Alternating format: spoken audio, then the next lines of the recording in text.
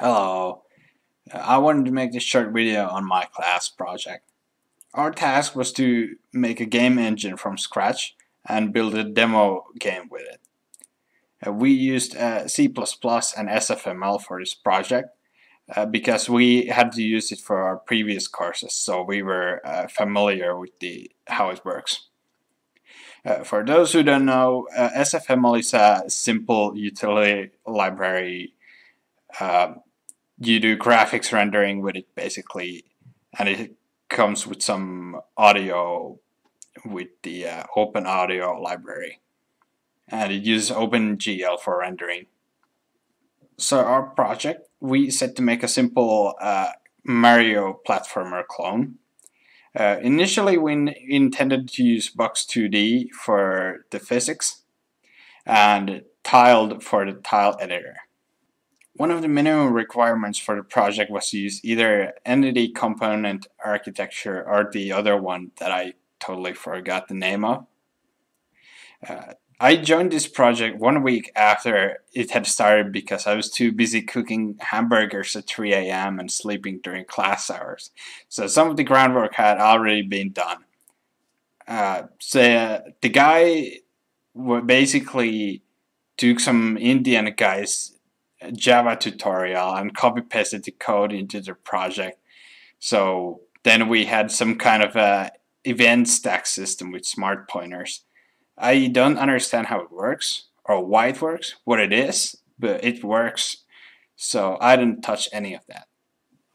So after I started working on this, uh, I couldn't get the tiled uh, tile editor working, tiled.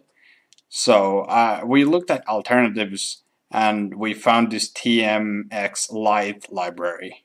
But that also sucked because I couldn't get that shit to compile with any tricks. So I figured we got six weeks, so how hard can it be to throw together a simple tile map editor and make the tile map tile map system myself?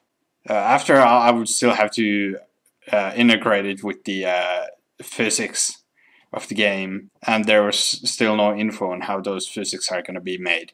I started by building a scene class which would contain all the data about the world.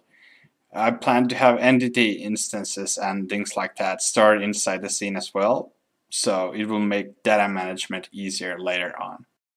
Uh, turns out classmates weren't having any luck with the Box2D library either, so they set to write their own physics.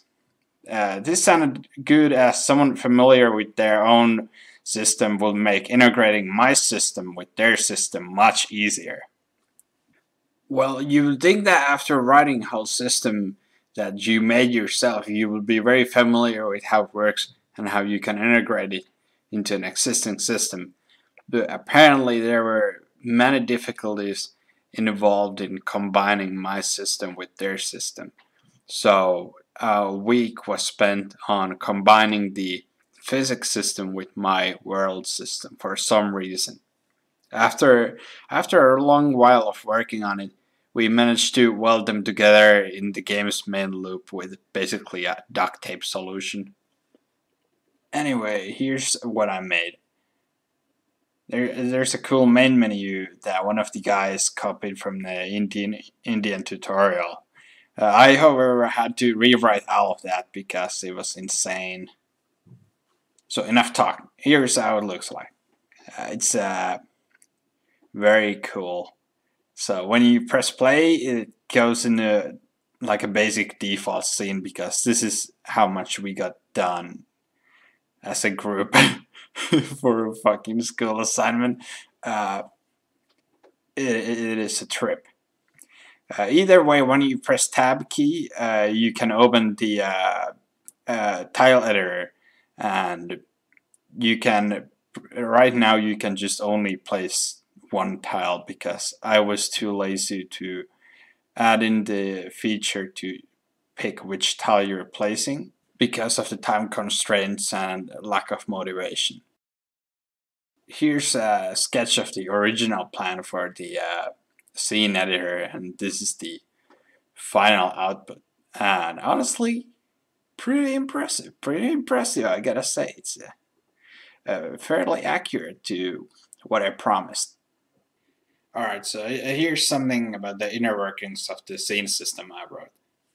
So I, uh, I started looking at other people's projects and how they made it. There was not much on it, like there were some couple of garbage ones. But um, I found on SFML's website there was a useful resource for uh, 3D accelerating the tile rendering. So what you had to do is uh, build a build a mesh object of your of your tiles so you can send it to OpenGL to render it in a single draw call because uh, SFML uses sprites but you cannot draw thousands of sprites because every single one of those is an individual draw call.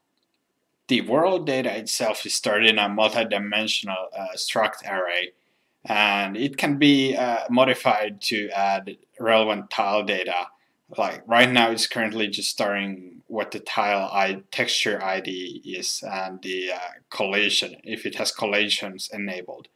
My system very uh, scalable because uh, I didn't really know what the fuck they wanted to do with the fucking system. So uh, you can make the world custom size, you can make custom tile size, you can add a custom tile set meaning like custom texture atlases uh, custom background images and adding anything on top of that would be really easy. So whatever uh, whatever else you would want from a tile editor, it can do it. One limitation of the GPU accelerated rendering is that you cannot scale the uh, world during runtime because the, the uh, world is stored in a mesh object and scaling the mesh object is really difficult. You will have to reconstruct the whole object to get, get a larger mesh because it's basically a, a grid but you need to a grid of polygons but you need to uh, rebuild it every time you change the size of it. Alright, so features left missing were uh, uh, save and load features. So originally I intended to have a JSON parser and just throw that shit into a JSON file, which would have been pretty convenient to have like custom stages and stuff. But then I got lazy. And the other feature was the, uh, as I showed before, the lack of uh, tile picker. So you can pick the different tiles you can place.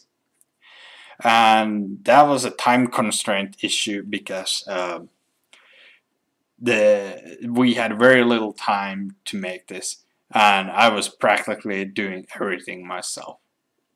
So how the tile editor works, it's uh, very simple. So it's, it's an overlay based one. It just you can press a tab key and it opens the overlay and you can just click on the screen and it places tiles.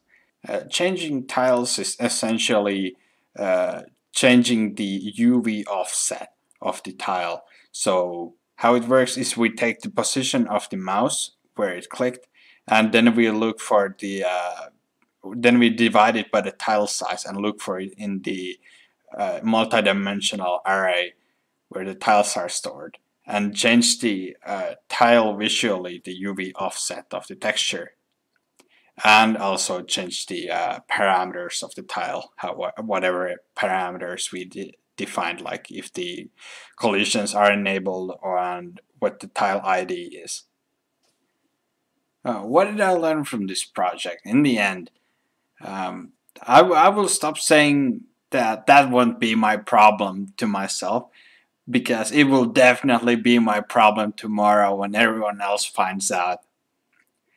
And the second thing I realized is if I want things done right, then I got to sit there and watch them do it till they do it right. And the last thing was that I learned to be more familiar with C++. I was uh, I was basically just skipping courses and flunking classes uh, because I was too busy too busy making burgers at 3 a.m. and sleeping. Anyway, that's it for the video. I just wanted to make this because uh, I spent I spent like do I spend like 150 hours on this fucking piece of shit? And ain't, ain't nobody gonna use this fucking garbage ever, but, and nobody's gonna even see it. Like, we had a class presentation and there was this fucking wanker who was on his phone. He was staring at his phone, motherfucker, while we were doing our presentation. Like that's the most disrespectful thing ever. So uh, I just wanted to make this video showing it off because I have no friends to show it off to. Yeah. Uh, thanks for watching.